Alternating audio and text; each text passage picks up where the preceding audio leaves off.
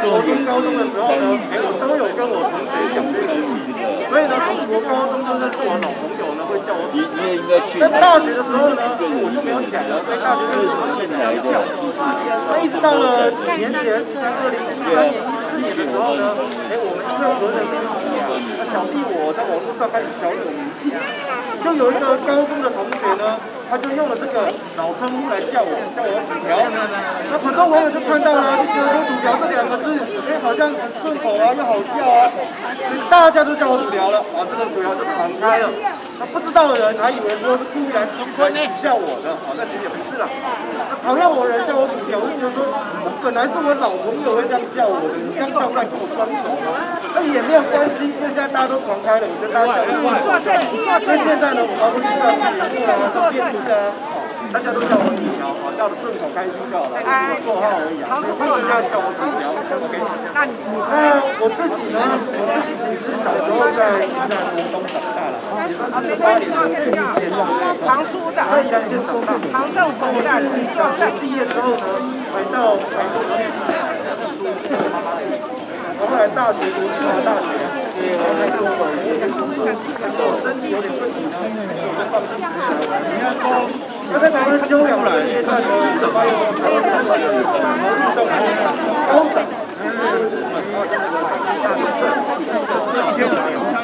我看一看觉得说，可是他们讲的讲法很中太多了，所以呢，我就觉得说我们这种理工的，应该要站出来，讲一点点话，然后听一下世界。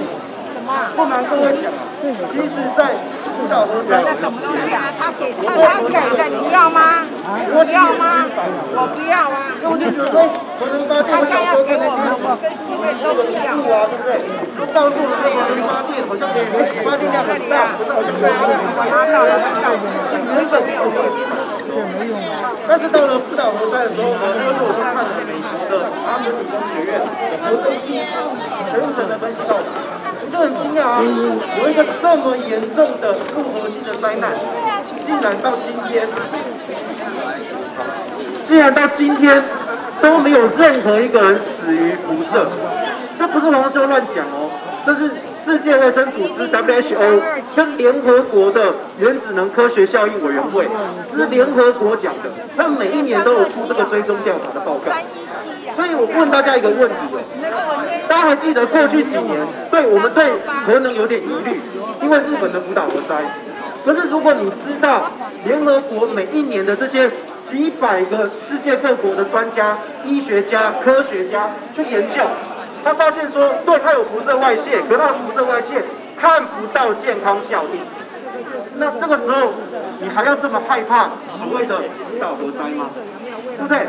过去我们都觉得哇，福岛核灾好像死了很多人，很多人都遭到辐射，都变成畸形突变，对不对？哦，就恐怖哎！好像看电影、看小说、看恐怖小说一样。那如果你去看联合国这几百个科学专家的报告，你知道福岛核灾到现在十年了，没有任何一个人死于癌症，没有任何一个人得癌症，连离癌都没有，连得癌症都没有。那你那么害怕它？你要不要平常哦多吃点健康的青菜啊、水果啊？是不是对你的身体还比较健康？我们为什么要这么的害怕一个干净的能源核能发电？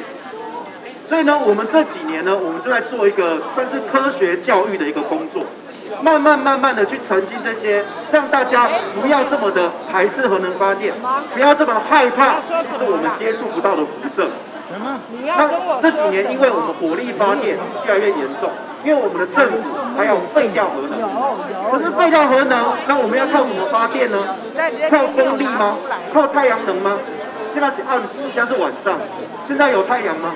没有太阳啊，没有太阳就没有电啊，这不是小学生小朋友都知道吧？没有阳光就没办法发电嘛，对不对？那现在今天比较凉了，可是风好像也没有很大，对不对？没有风就没有电呐。那难道我们台湾要靠风力跟太阳能，它可以取代火力吗？不能嘛。所以你如果要废核，你的火力就是越来越多。因为火力很简单，你就是给它 gas，给它煤煤火煤火，你给它烧烧下去，给它燃料，它就会有电了。但是这个有空屋啊，对不对？所以在二零一八年的时候，大家还记不记得？那个时候我们有十个案子的公投，对不对？非常感谢各位做出了很明智的决定。这十个公投里面有一个案子，第七案叫卢秀燕台中市长领衔的反空屋公投，就是我们要减少火力。哦，我自己后来搬到台中去嘛，哦，所以我都会说我是台中人。我们台中人吸中国的空污已经吸了很多年了，这是我们无法承受之重啊。所以我们有个共识，就是我们要减少火力。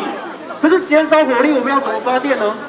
我们有三座核电厂，我们有封存的核市场已经盖好了，那为什么不用呢？所以第十六案以核养绿，就是告诉大家说，核能在国际上是跟再生能源一起的，都是绿能。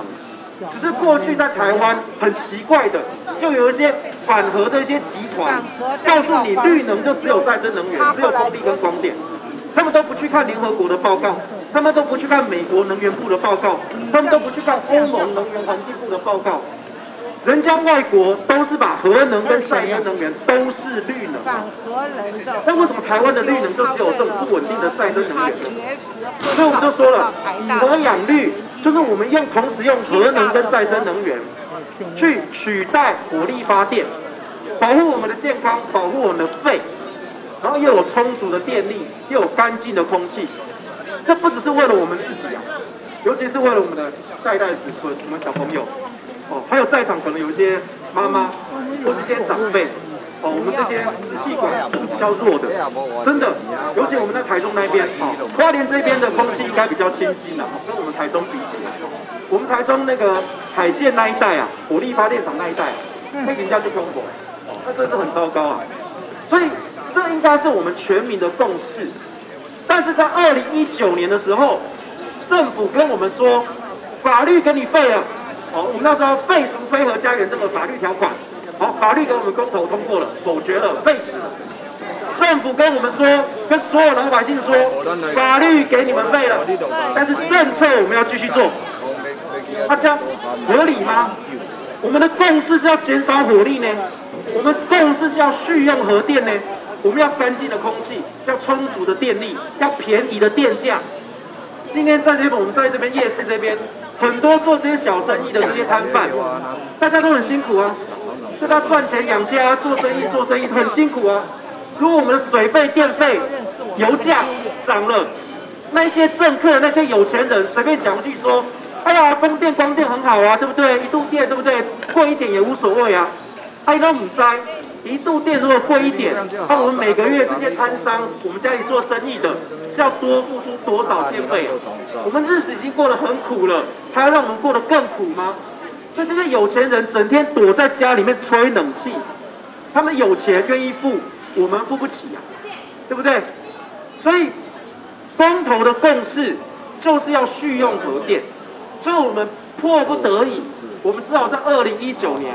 再次的发起重启核四的公投，重启核四的公投就是这一座核市场已经困扰了台湾将近三十年的时间，这是一个蓝绿恩怨情仇，但是我们这些老百姓，我们不在意这些蓝蓝绿绿的恩恩怨怨，我们很在意就是什么，缺不缺电，涨不涨价，有没有空屋，这才是我们关心的嘛。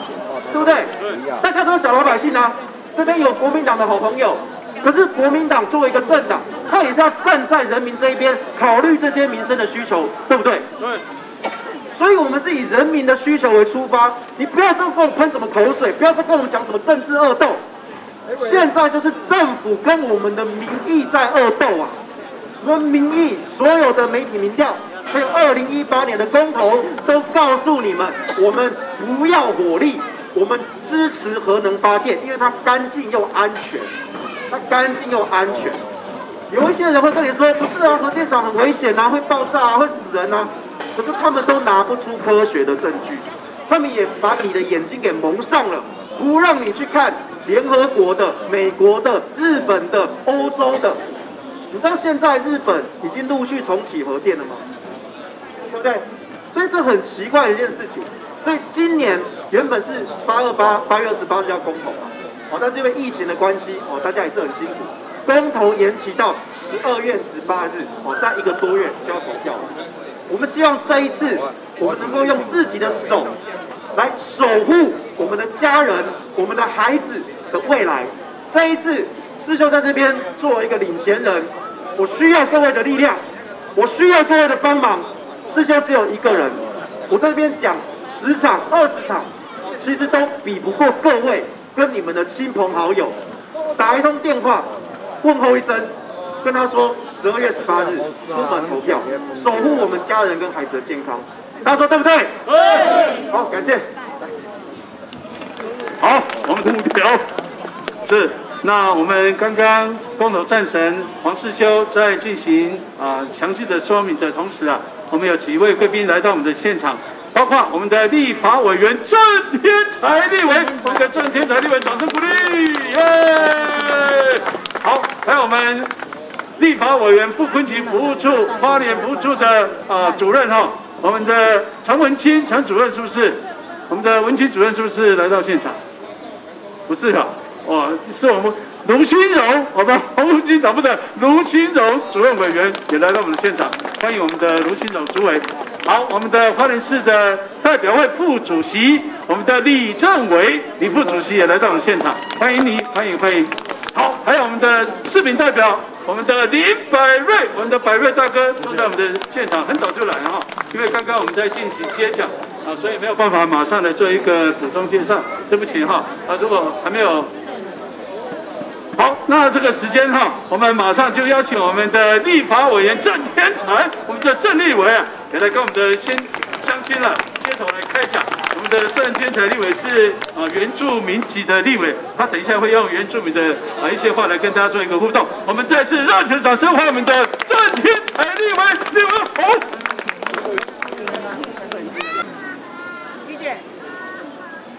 好，各位乡亲，呃，法基法伊萨里刚刚阿妈不弄，来好，来好，大家好的意思。呃，今天非常感谢我们呃战神哈，那个呃遥远的从台北啊来到花莲哈，呃在过去我们都是在呃电视上啊或者是在网络上啊看到你了，呃今天能够亲自呃亲眼看到还站在你旁边了，啊真的是非常非常的呃荣幸哈。那大家都知道。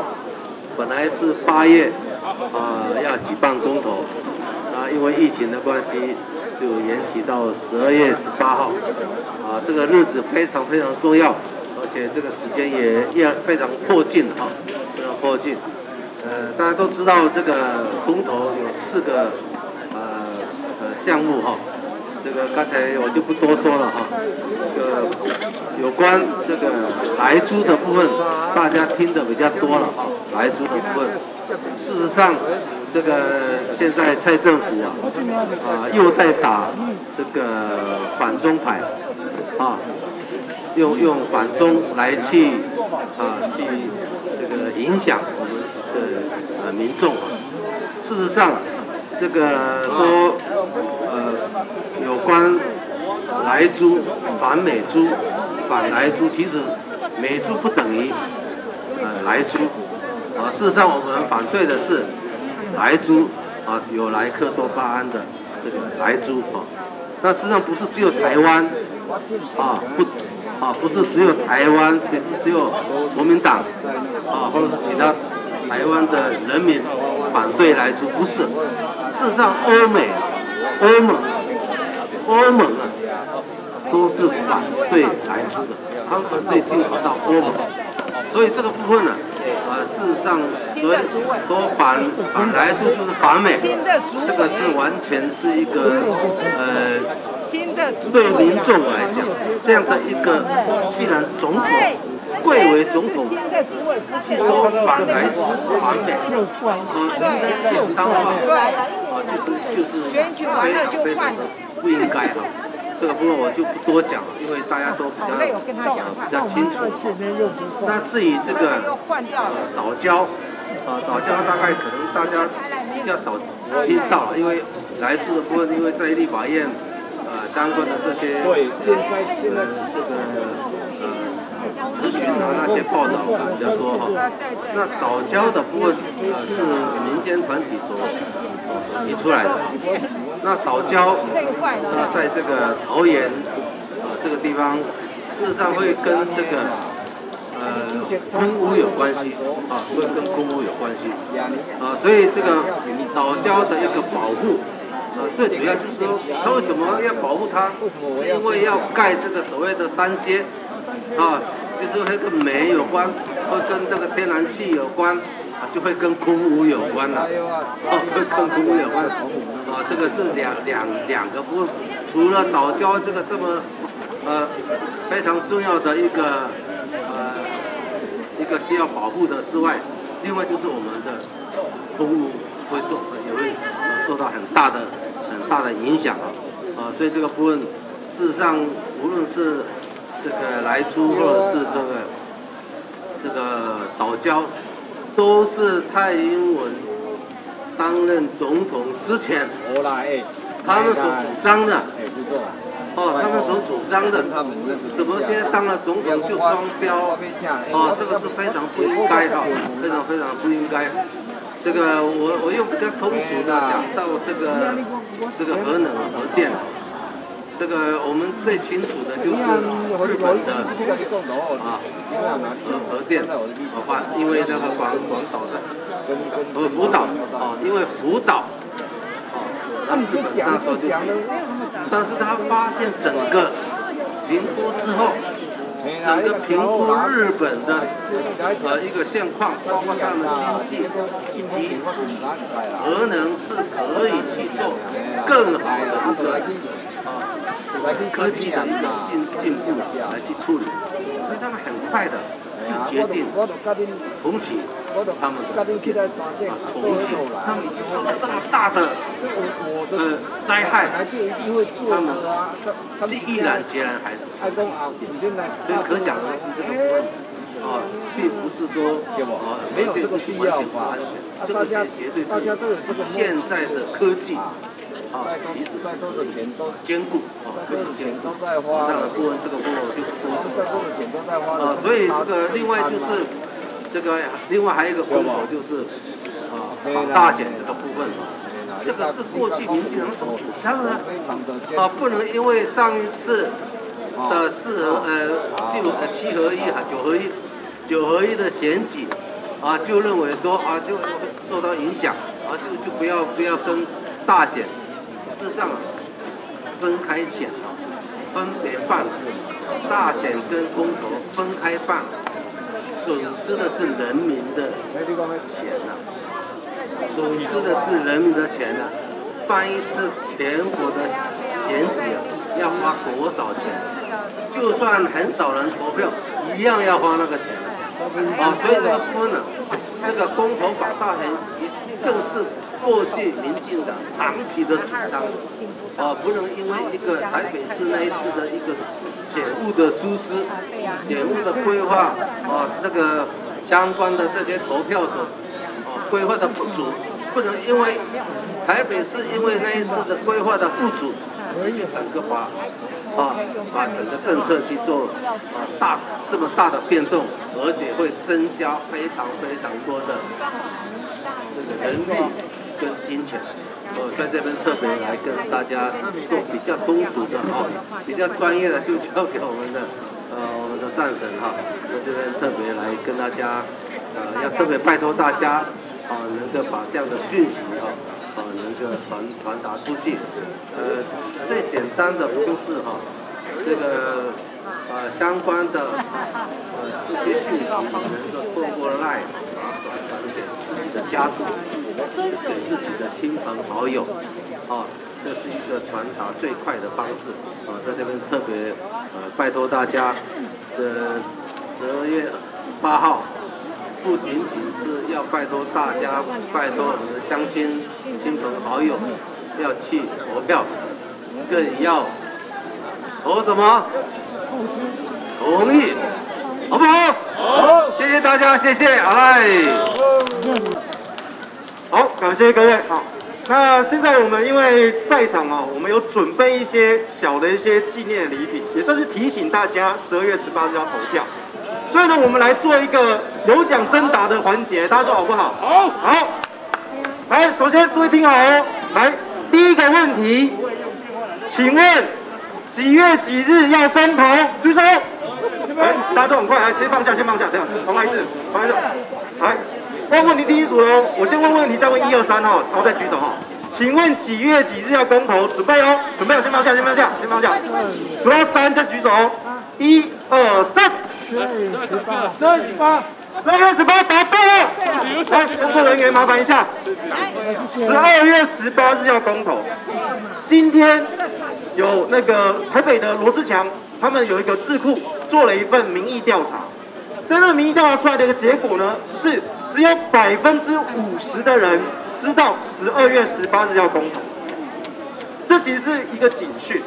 而且讲的更精准一点是，只有五十的人知道要公投，但是另外的百分之五十人不知道，或者是就算他知道要公投，他日期回答错了，他只记得说，哎，好像原本八月底嘛，然后延到好像十二月啊，十二月几号，哎，不知道，他讲错了，他自以为知道，就民调的时候要回答，他答错了，所以这边是要请大家帮我第一个忙。从今天开始，哦，你看到你所有的朋友、所有的亲戚、所有的家人有投票权的，拜托拜托，告诉他，十二月十八日要记得哦，那一天给我空下来，不要安排什么旅游行程什么的，不要。这拜托拜托，大家一定要口耳相传，因为这真的是决定我们国家很重要的一个日子，好，而且太少人知道了，好，那这当然是我们也会加紧宣传的。好，来第二个问题，第二个问题，请问？我先把问题念完，然后我数一二三，大家举手。好，请问国际定义的绿能包括什么能源？一、二、三。刚那位，快。核能。还有什么？呃，风力。哎，还有吗？呃，水力。水力，还有没有？呃，那个太阳能板。太阳能板答对了。好，感谢各位，来工作人员麻烦一下。没错，其实现在的美国、欧盟、联合国，他们现在在开这个气候峰会。大家都知道气候变迁嘛，早年叫全球暖化了，但其实也不止暖化了，冬天变得更冷，夏天变得更热。当然在台湾啦，我们这几年冬天好像不太冷哦。我说国外，国外有些冬天呐，那会冷死人的。所以说这种极端的气候越来越多。那大家有没有注意到，我们台湾？有时候是有一年的夏天台风特别多，或者今年的夏天几乎没有台风。所以以前我们小时候二十年前、三十年前那个时候，那个时候台湾的四季哦都有很明显的一个变化，该冷就冷，该热就热。可是好像这几年我们的气候慢慢的失调了。你不要以为说台湾只是一个小岛，好像这些世界大事都跟我没有关系，它已经在影响台湾。而且我们每一年的夏天。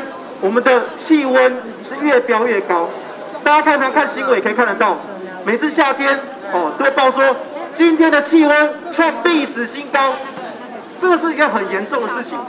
刚才我们讲到那些有钱人，他们可以说，哎呀，我们可以用贵一点的电啊，我们可以不要用核能啊，不要用火力啊，用贵一点的电啊。那或者说，啊，我们可以少用电啊，对不对？啊，中午时候用电尖峰哦，大家都不要用电啊。我自己。比较耐热耐冷的，我可以不吹冷气啦。但是大家想想看，如果家里面有小朋友的、有长辈的，我们的体温调节能力比较差，那如果夏天中午不开冷气，哎，那是会出事情的，对不对？对。哦，所以这一些讲说少用一点电呐，付多一点钱呐，都不要紧啊，都没关系啊。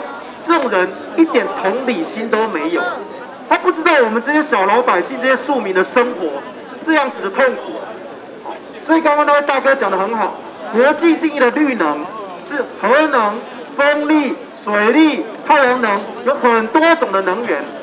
那我们是支持核能的，我们也不是说说啊，我们只能够用核能，没有，我们从来都是支持再生能源跟核能一起发展，要跟上国际的脚步，台湾不可以被淘汰，对不对？对。好，那我等一下我们还有其他问题，还有其他奖品。那我们再来讲一下这一次的公投，总共有几个案子？有反来租，有公投绑大选，有重启合适，有守护早教，这四个公投。好，这四个公投其实都跟蓝绿的政治意识形态没有关系。就算是国民党提的那两个，也是跟我们的民生有关系，对不对？也不是为了自己政党利益，对不对？国民党员，啊，你是国民党员吗？是吗？啊，都是为了人民而出发，为了人民而着想的。我们就是不要吃莱克多巴胺的猪肉，但是我们不是反反美猪哦。美国来的猪肉，如果它不含来剂，我们也可以吃啊。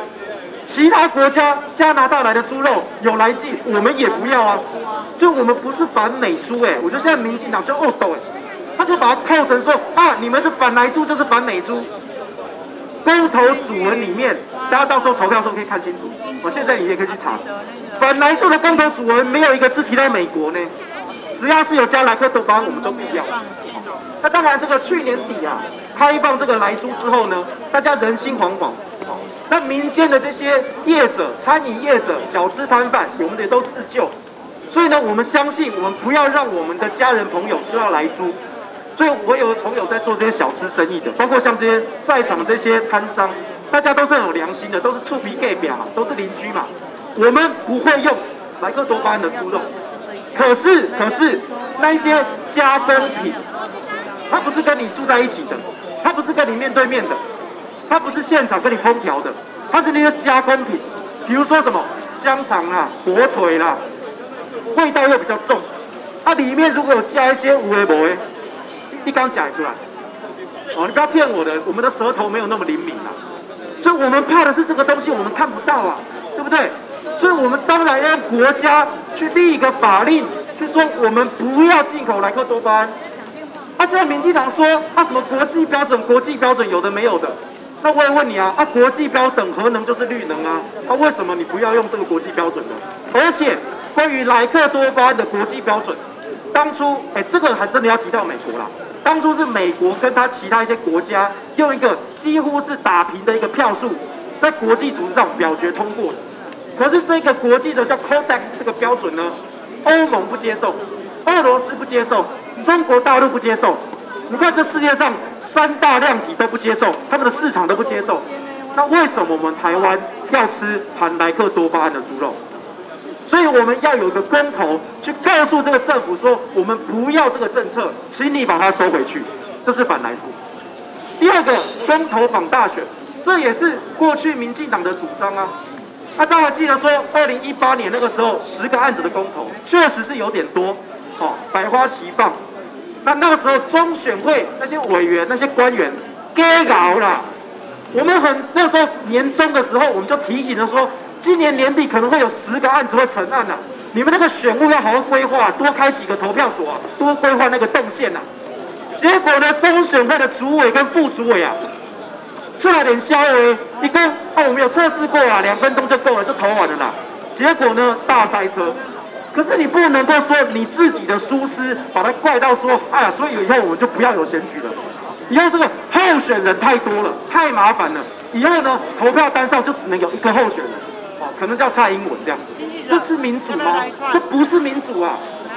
所以公投党大选，其实国民党提这个案子，也只是叫民进党，请回复以前你们民进党在野时期的这个民主的提案，合并大选举行，可以节省人民的税金。独立举办的话，要花多花十几亿新台币啊，十几亿呢，十几亿耶！那我们的纳税钱是这样白白花掉的吗？这是公投榜大选，再来就是早交公投，早交公投就跟蔡英文政府的飞核家园是有直接的关系的。因为飞核家园把核能废掉了，我们用大量的燃煤、大量的天然气，它大量的天然气比较不好存放，我们要在桃园那个地方把这些藻礁生态给刮掉，要盖那个接收站跟那个瓦斯除气槽，而且还不只是观塘啊，基隆港啊、台中港啊、云林六轻啊，甚至搞不好花莲港也要来以后来盖一个除气槽啊。大家可以想象一下，全台湾每一个县市、每一个地方，通通都盖满瓦斯除气槽吗？你能安心吗？至少我觉得我睡不着觉了，对不对？我宁可住在核电厂旁边，我不要住在天然气除气槽旁边了。哦，这只要就一下没了。所以，早教风投不只是为了守护自然的生态、保护早教，它还跟我们的国家的安全息息相关。如果未来我们这个天然气的比例这么的高，为了要废掉核能，天然气这么的高，我们都不要说对岸中共解放军打来台湾，或是把我们的海域给封锁了，我都不要讲这种军事冲突，我们就讲台风。台湾每年都有台风，对不对？大家是台湾人，大家都知道台湾多台风嘛。以后只要有一个台风在台湾海峡多停留个两天，台湾有一半的电力都断气了。今天我不论你是蓝是绿，也不论你是统是独，那些意识形态我都不讲。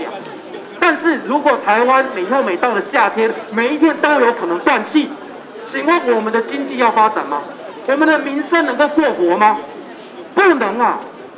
所以天然气这个政策，它就是出卖我们台湾的国安呐。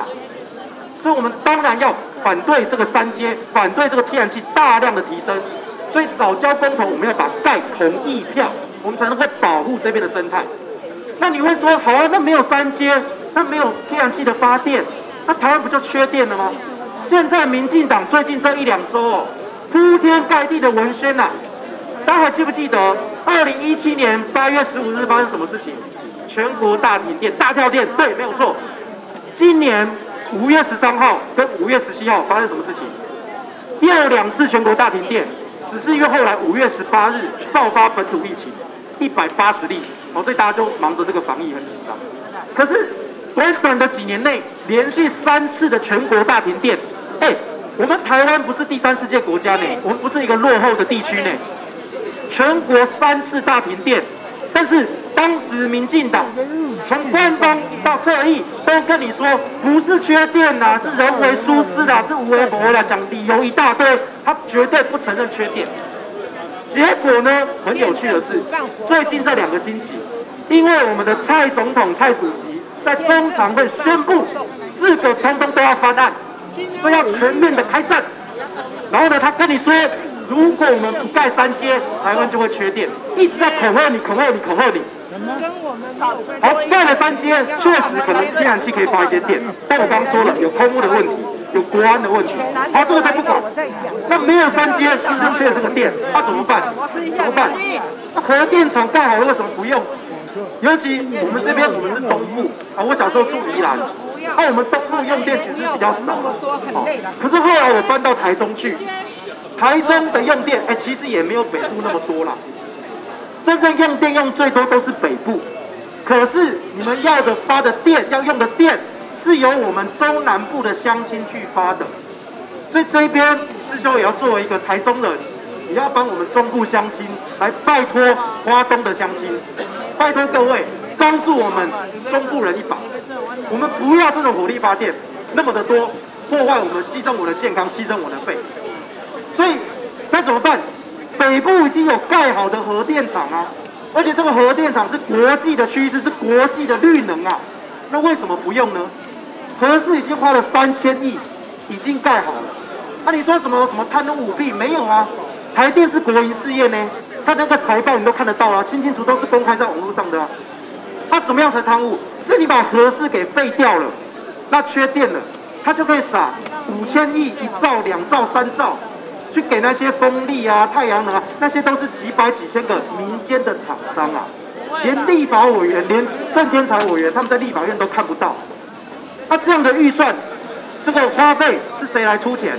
是我们老百姓的电费出钱啊，所以电价一定会涨啊，而且还会缺电。所以最后最后就是北部已经有盖好的核市，为什么不用？过去有一些人说它不安全，说它有疑虑。比如说刚才我收到一个纸条，我们在场的朋友问说，哎，有人说合适是拼装车，大家有没有听过这个说法？可是这其实是一个假议题啊。大家有没有坐过火车？有没有坐过台铁？哦，有些人北漂的，哦，要返乡的，要坐回花莲来的，大家都坐过台铁嘛，也坐过高铁嘛，也坐过捷运嘛。如果你是台北跟高雄的，哦，请问这些火车、捷运、高铁、台铁，哪一个不是专业的厂商分公司做？我们现代人的这些大型的工程，都嘛是分工嘛。好，不要讲大的，我们讲小的。来，在座谁没有手机的？来举个手，都有手机吧？你们都有手机对不对？有，都有嘛？有。一只手机有多少零件？有面板，有处理器，有元件，有相机的感光器，还要组装。可是手机会不会因为它是这种拼装车，所以每一次就会爆炸？不会吧？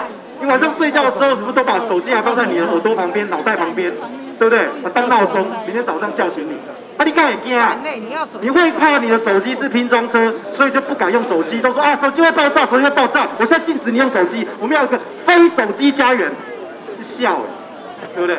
这拼装车这是一个假议题，是那些利益集团编出来，想要把核电给废掉，变成缺电，他才可以花更多的钱去买那些风电、光电，去炒地皮，去开后门，去赚我们的钱呐。所以。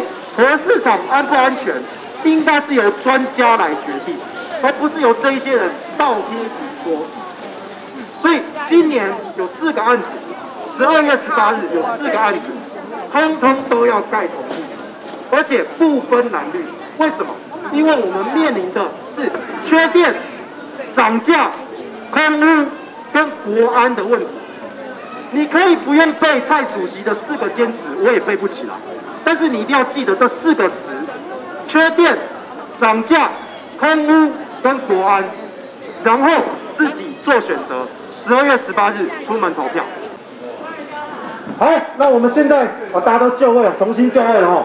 来，我们再来一次有奖征答哈，有奖征答。一样哦，我先念题目，然后我数一二三，大家举手来抢答。好，注意听哦，请问。刚才已经有人回答了，十二月十八日有公投，请问今年有哪四大公投？来准备哦，一、二、三。好像是这位，对对对。啊，你要让来孔融让梨是不是？好，那个呃，一个是来猪，来猪反来猪的，反来猪的，来，还有那个合适的，合适的。还有一个岛礁的，岛礁的，岛礁的，还有一个，呃，什么？公投榜大选。公投榜大选。公投榜大选答对了。来，工作人员麻烦一下，很厉害，很厉害。好棒！哎，我们我们这些民间的声音都很难发出去，但是大家不要怕，四校在这边新来花莲，是真的要恳托大家的帮忙，请大家把你们的力量借给我，我们不怕媒体封锁。最原始的方法就越不容易被封锁。最原始的方法就是我刚讲的，世修可能在网络上、在电视上小有名气，但是但是世修在镁光灯前讲十场、讲二十场、讲一百场，它的效果都比不上在座的各位跟你的亲朋好友打一声、打一通电话问候一声好。跟他说，十二月十八日四个都盖同意。各位的力量比我更强，所以我要拜托在座的各位，把我今天讲的这些东西，你不用全部都记住，但是你要最记到最基本的，有四个案子，有四个案子，反莱猪、反大选、合适跟早教这四个案子。台湾现在有四个问题：缺电、涨价、空屋跟国安。你只要记得这四个公投跟这四个问题，应该记得住吧？要不要我再讲一次？要不要再讲一次？来，有奖征答，有奖征答。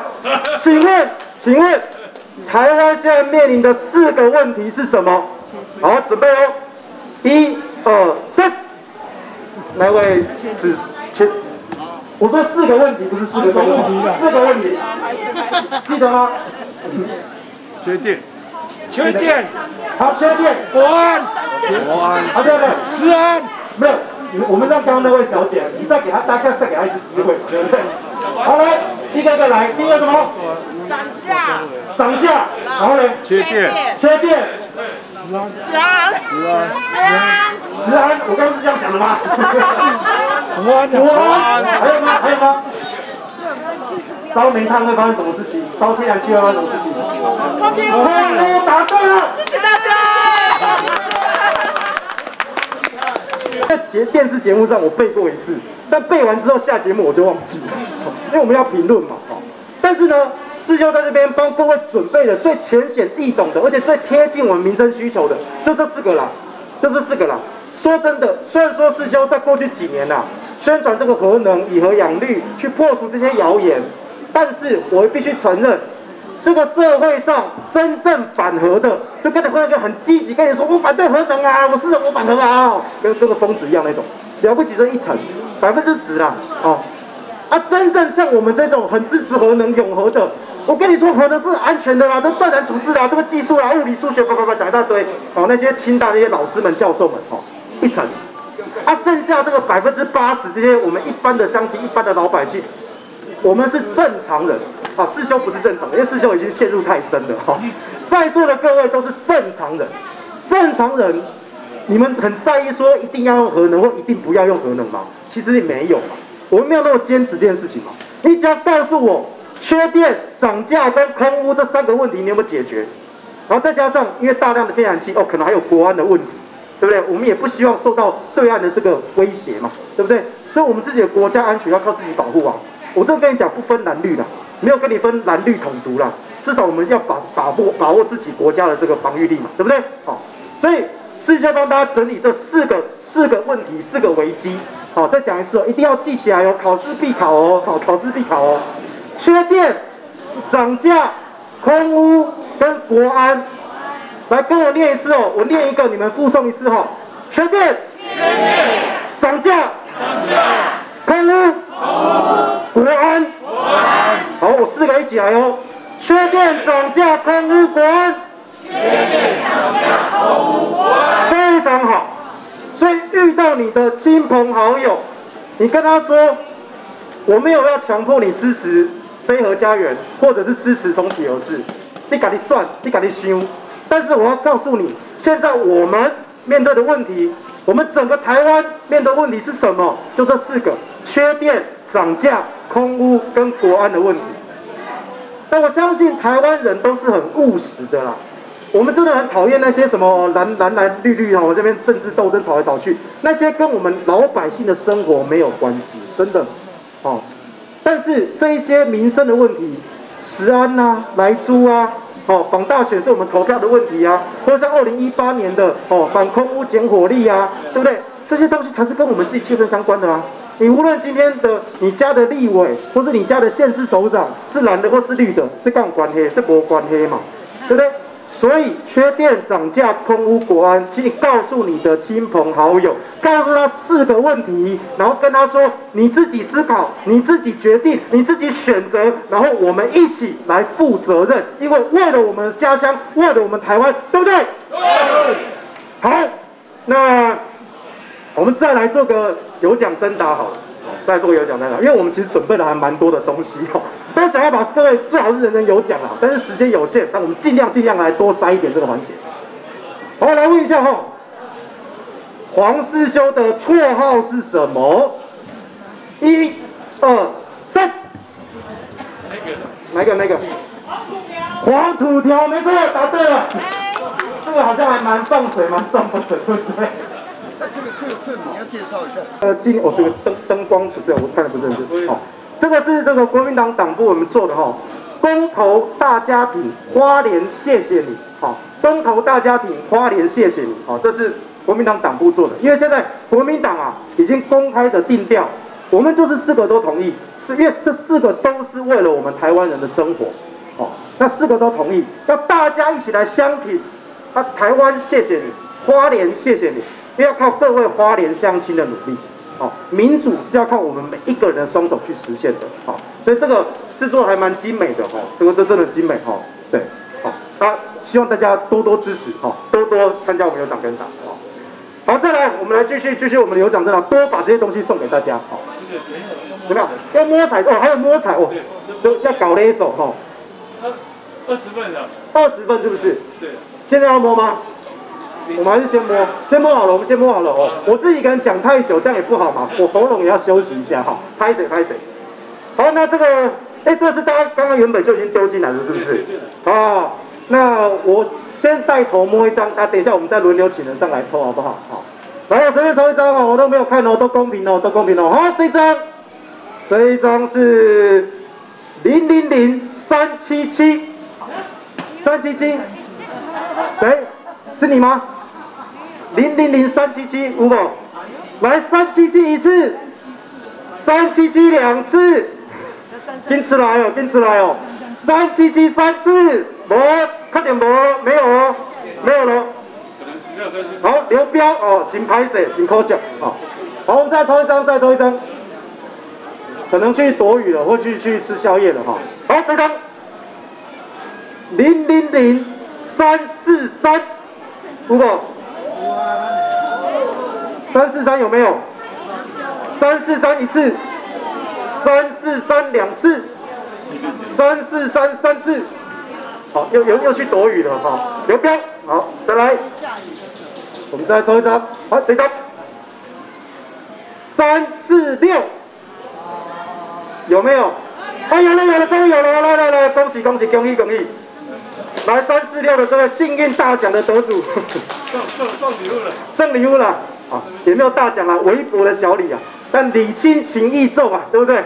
这是代表我们对各位的一份恳托，一份托付哦。拜托拜托各位，国家要靠我们所有人来救啊！好，我们要继续抽吗？要，多抽几个还是怎么样？有二十个嘛，对不对？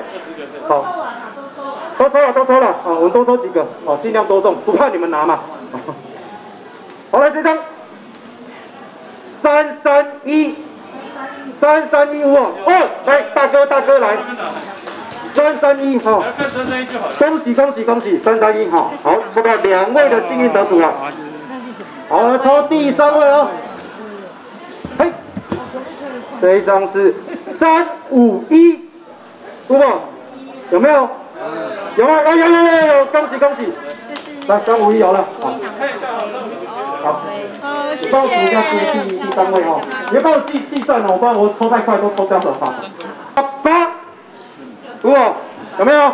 三八八，三八八，三八八一次，三八八两次，三八八三次啊，可惜啊流标啊，记得要在场哈。好，我们再来绕一绕，绕一绕，绕一绕。好，这张三五七。三五七，三五七有没有？有没有？我听到这里有吗？三五七，三五七一次，三这是三九二，三九二，三九二有没有？哎有了有了，恭喜恭喜，德大哥，三九二哦，恭喜太好了，四个了，好了，我们再来，我们至少先收到十个再说哈。三七八，三七八，三七八有没有？三七八，有有有，哎有有有，哪位？哪位？是你吗？确定吗？哦，这里也是一位大哥，三七八，好，来跟工作人员，好，跟各位拿一下，好，感谢各位啊，真的是一份托付了，一份幸运得主是三八七，有没有？三八七，三八七一次，三八七两次，三八七三次，好，刘标，好，第五位到底会是谁呢？好，这张。三六九，三六九，三六九有没有？有有有，有有有有吗？哪一位？哎，美丽的小姐，哦，陈妹妹，哦，感谢三六九来跟我们工作人员拿，哦，拜托拜托，妹妹你有投票权了吗？应该还没有哈。你要，民进党真是全党大动员啊！哦，他们在中常会上批了五千八百万的预算，说要来宣传这四个公投，通通都要翻案。这四个公投方案代表什么？第一个要喂我们吃来猪，第二个公投要脱钩大选，不让我们投票，第三个我们要破坏早教，盖一大堆天然气的除气槽，第四个我们要把核试废掉，台湾就要废核了，电价就要涨了，就空屋了。四个如果通通都废掉，那台湾还能够活下去吗？但是民进党现在用大量的资源、大傻逼啊，铺天盖地的宣传，哦，我们也只能跟他小虾米对抗大金鱼。但是我相信各位的力量，我们不是小虾米，我们是小蚂蚁，但是几万只、几十万只、几百万只的小蚂蚁加起来，就会变成蚂蚁雄兵，对不对？对。我们希望各位能够加入这一场民主的战争啊！我们就是蚂蚁雄兵，我们要对抗这些威权的暴政。凭什么他要喂我们吃来猪？凭什么他要封杀我们的投票权？凭什么他要毁坏我们的生态？凭什么他要让我们缺电、吸空污呢？我们要对这样的政客发出我们的怒吼，对不对？对。所以，我再讲一次。我们要突破民进党的媒体封锁，我们靠的是什么？靠的是每一个人的口耳相传，人与人之间大概都熟塞，我们有一个信任、信任的关系。因为你信任我，所以我讲的话你会听。你去跟你的家人讲一句话，比黄世修在台上讲十句话、一百句话还重要。因为你的家人、你的爸爸妈妈不一定认识世修，对不对？好，你们认识我了哈。你们的家人不一定认识我，但他认识你啊，所以我再讲一次哦，在前阵子哦，台中我们台中人呐哦，前阵子我们台中罢免了一个立委，因为那个立委呢，我不要说是谁啦，好像好像有人针对他哈，反正大家知道谁就好。那个立委呢都没有在帮我们台中海线的乡亲做事了，所以海线的乡亲哦，就快就北送了。哎，你喜欢选出来呢？你是地区立委呢？我们一票票投给你呢？那你整天在立法院作秀闹笑话，都没有顾到我们台中乡亲的，你这样还配当一个立法委员、一个民意代表吗？所以，我们台中人就把他罢免掉了。那那个时候在罢免，这是罢免是由民间发起的，而且那个发起那个领衔人以前就是支持那一个候选人的，但他当选之后，他看不下去，他决定发起这个罢免。他们在罢免的最后阶段，他们呼了一个口号，说：“拜托海线的乡亲。”每一个人打三通电话，告诉他们罢免那一天要出门投票。为什么他们要这样做？就是我刚刚说的，这种你打一通电话，或者你跟你的家人朋友讲一句话，胜过黄世修在媒体上在镁光灯前讲十场讲一百场。各位的力量比我还要强，所以我需要各位的力量，我们才能一起。打赢这个人民的战争，对不对？所以来注意听好了，有奖征答马上就来了。好，请问为了突破民进党的媒体封锁，你要做什么事情？一、二、三，粉红色衣服的阿贝，打手势。打三通电话。打三通电话，没有错，打三通电话。当然，如果你在东北回答时空无所谓，多多益善嘛，哦，多多益善。东翠暖也不会像各位跟你们家的朋友讲一句话来的有用，哦，所以这是要拜托各位。其实这个都跟选举投票是很像的啦。选举到了最后，其实我们也是跟我们家的朋友说，哎，这个我认识这个文广兄啊，很优秀，很认真，就不来呢，大家一起给他支持，好不好？哦，对不对？那你为什么会听我的话？因为我是你的朋友嘛，你相信我，你信任我嘛。我推荐的这个人，你也要相信他，对不对？好，所以今年十二月十八这四个公投，啊，他不是人的哈，这四个公投不是人。但这四个公投，我们相信这四个公投通通都要通过，通通都要同意，台湾才能够有食安、有民主、有早教生态。也有干净的空气，也有稳定的电力，对不对？对。所以真的真的要拜托各位多帮忙，而且不只是在座的各位啊，你们要把我刚刚讲的话都记起来啊。当然不用全记啦，好，两个要记起来了。四个问题，四个问题，大家记得吗？哦，不要刚刚抽考一个，然后现在大家忘记哈。四个问题要记得，打三通电话要记得，好，四个问题要记得，打三通电话。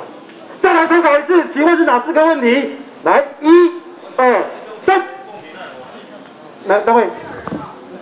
啊，还是哪位？哦，他先举手啊，不好意思，刚没看到。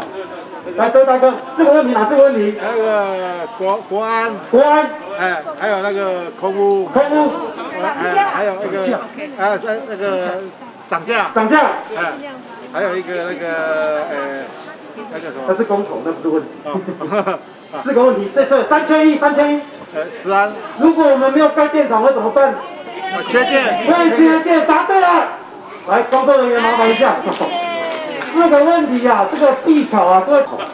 这四个问题都跟你跟我切身相关，不分蓝绿，真的不分蓝绿。你今天叫一个民进党的上来讲，你就问他说，现在台湾是不是缺电？他可能会有点犹豫啦，哦，因为这个党啊，政府叫他不可以讲。可是如果你私底下如果跟他是三好朋友，你就问他说，哎，你搞公老示威，现在台湾你看电无？一啦一啦一啦。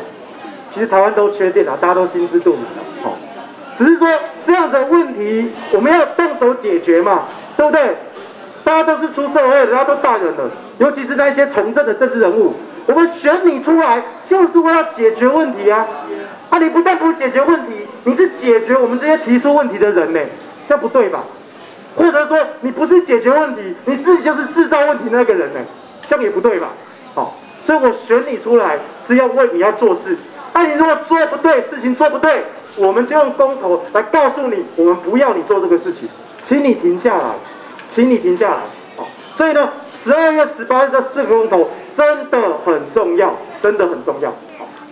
好，那我们再来考考各位，考考各位，请问，请问，二零一八年的时候有几个公投案？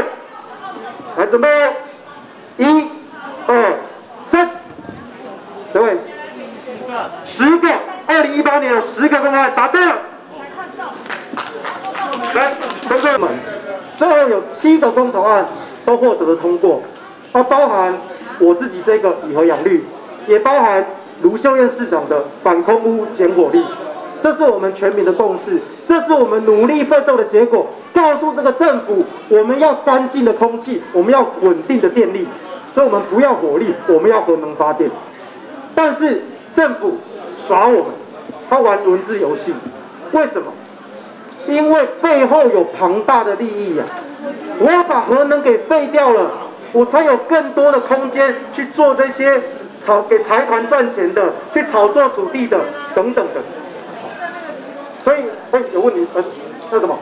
哦，摸彩的，摸彩的，OK，好。所以我们不能够让当年这个公投的心血付诸流水。政府跟我们摆烂，我们很气。有一些人有一些挫折感，就说：“哎呀，公投又没有用啊，对不对？你看我们二零一八年都投过了，那政府还是不理我们呢，啊，公投没有用啊。”我告诉你，民进党最希望你这样想。如果他们不怕公投的话，为什么二零一九年的时候，他们要紧急修法把公投脱钩大选，对不对？好，问题马上要来了，有奖征答。请问今年的四个公投里面有一个案子是要修正回二零一九年这个修法，这一个公投案子叫什么名字？一、二、三。白色的这位姐姐，榜大选，公投榜大选没有错，答对了。好厉害哦！来追加一题，追加一题。请问这个公投榜大选的公投是谁领衔的？来，一、二、我们的审评法这位。来，前面这样的沈明华来。这这这决定。哎，不对哦，不是我领先的哦，我领先是重启合适哦。重启合适。这一题比较难，这一题比较难，因为我刚刚在演讲中的时候我没有讲。谁？有两个领先，一个你说你领，我是领先重启合适。还有一个潘中正。潘中正是早教的那一个。那两个就是国民党的。两个就是国民党的，你都知道说那两个是谁领先的吗？你记得他们名字吗？江启臣吗？答对了，就是江启臣，答对了。来，感谢感谢，这一题比较难哦。刚因为刚才我前主席哦，他那时候发起了这个公投榜大选的公投。好，马上再考各位，那另外一个案子是什么呢？反来猪对不对？反来猪是谁领先的？好，准备哦，一、二三。知道举手。这位大哥，没有，你刚刚举过了，机会让给人家。来，谁？罗志祥。不对。我说反来猪。江江启臣是公投榜大选的领先，反来猪的领先是谁？大家知道吧？罗志祥。猜猜看，猜猜看。提示也是一个立委。罗志祥啊。嗯，不是，不是志强哥。志强哥在反来都出了很多力，但是他不是领先人。哎，好像有人知道哦，新竹那个立委是谁？林维洲的。你不要来，重新来，我我都没听到，我们那个，来重新来哦，一、二、三。哪个？谁谁谁？来单位，林维洲答对了。维州委员哦，大选的公投，啊，这两个案子，当然这都是国民党的民意发起的，啊，其实也不用说到底是谁领衔的啦，因为他就是整个国民党为人民着想，为人民发起这个公投，啊，只是说刚刚当做一个考题来考考大家，啊，你如果你真的不记得也没关系，它就是国民党发起的，但是它本身也不是因为国民党这些政治立场，是国民党跟人民站在一起。我们希望有民主，我们希望有实安，所以才提出了这两项的公投。那另外两个民间的公投是谁领衔的呢？我们来一个一个来啊。请问另外两个不是国民党发起的公投是哪两个？准备哦，一、二、三。你你刚举过了，有拿过奖品吗？来再一次哦，一、二、三。有没有人？哎。那你应该都知道啊早教跟什么？重启合适。重启合适，哦，答对了。来，感谢工作人员哦，麻烦一下。啊，你刚刚拿过了吗？哦，不好意思，不好意思，不好意思。那么你可以送送给在座的看谁？好，送给我，送给我。啊，都都给这位先生没关系，好好。好，再来，请问走家风头的领衔人是谁呀？准备哦，一、二、三。有没有人？大哥，你知道？他没有答对啊！哦，真的吗？真的吗？他没有答对啊！哦，真的吗？好，那关大家两位答。早教公投领先是谁？潘潘正中。嗯，是吗？是吗？他的名字好像不太对哦。好像后面。潘中正答对了，潘中正。对对对。答对了。中间少了。好，最后一个问题，最后一个问题。好，请问重启合适的公投领衔人是谁？好，准备来哦。一、二、三，来，大哥，是谁？我我叫什么名字？黄世修，是叫黄土条，黄世修。哎，都一样，都一样，答对了。黄土条就是黄世修。哦，这个很重要，而且不分男女，都是我们民生相关的，都是为了台湾人啊。哦，那四个问题也很重要，请大家一定要记得。哦，缺电。涨价、空屋、国安，有念有保佑啊！每天照三三念啊，早晚念一次啊，跟你的家人朋友念啊，念到他嫌烦、耳朵长茧都没关系啊。总之念到十二月十八日那一天就对了。好，大家一定要出门口。世修需要大家的力量，让我们一起，让我们一起打赢这场战争。加油！加油！加油！谢谢我们，谢谢公投的战神黄世修哈，亲自来到我们的巴黎市的东大门。那明天我们的黄世修早上要到我们的北回归线，啊，大概在十点钟的时候会在北回归线来进行街头开讲。那在明天下午的四点钟，我们也会在我们吉安的黄昏市场的好客啊广场呢也来进行接讲哈。那相亲如果有兴趣，哦，有五天存哈，我们明天啊，在我们的呃吉安黄副市场也欢迎大家来参加，再次感谢大家，谢谢大家，我们给工头战神黄世江再次的热情掌声，感谢他，谢谢谢谢谢谢谢谢。大家，好，我们今天晚上的啊工头揭奖活动到此告一个段落，谢谢大家，祝福大家回家一路平安，谢谢谢谢谢谢。